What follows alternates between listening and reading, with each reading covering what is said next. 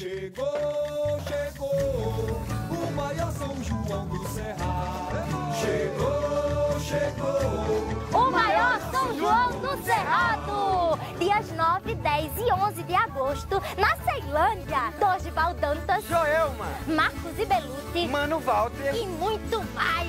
Mas lá do Nordeste muita brincadeira, tesouro precioso da cultura brasileira. Viva São João! Viva!